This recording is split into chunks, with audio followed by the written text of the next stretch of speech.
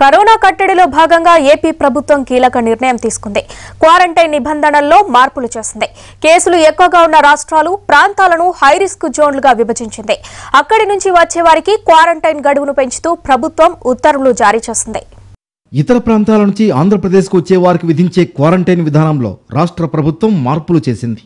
Telangana కర్ణాటకలను high risk ప్రాంతాలుగా వర్గీకరిస్తూ ఉత్తర్వులు జారీ చేసింది. గతంలో తక్కువ రిస్క్ ప్రాంతాలుగా తెలంగాణ కర్ణాటక రాష్ట్రాలు ఉండేవి. గతంలో ఈ రెండు రాష్ట్రాలను లో రిస్క్ ప్రాంతంగా నిర్ధారించిన ప్రభుత్వం ప్రస్తుతం కరోనా కేసుల సంఖ్య తీవ్ర స్థాయికి చేరడంతో ఈ రెండు రాష్ట్రాలను హై రిస్క్ ప్రాంతాలుగా ప్రభుత్వం గుర్తించింది. రహదారి మార్గంలో ఏపీకి వచ్చే వారికి బోర్డర్ చెక్పోస్టుల వద్ద స్వాబ్ టెస్టులు నిర్వహిస్తారు. ఏపీకి వచ్చేందుకు స్పందన యాప్ ద్వారా ఈ పాస్ తప్పనిసరి చేస్తూ ఉత్తర్వులు జారీ చేశారు.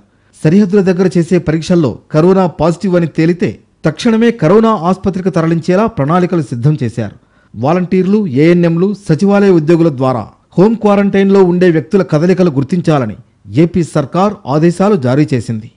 వివిధ ప్రాంతాల నుంచి ఏపీకి వచ్చే వారికి పద్నాలుగు రోజులు హోం క్వారంటైన్ అమల్లో ఉంటుంది. రైళ్ళ ద్వారా ఏపీకి వచ్చే వారికి ర్యాండమ్గా టెస్టులు పద్నాలుగు రోజుల క్వారంటైన్ నిబంధన అమలవుతుంది. విదేశాల నుంచి ఏపీకి వచ్చేవారు తప్పనిసరిగా ఏడు రోజులు క్వారంటైన్లో ఉండాలనే నిబంధన ఉంది. గల్ఫ్ నుంచి వచ్చిన వారికి పద్నాలుగు నుంచి ఏడు రోజులకు క్వారంటైన్ను కుదించింది ప్రభుత్వం.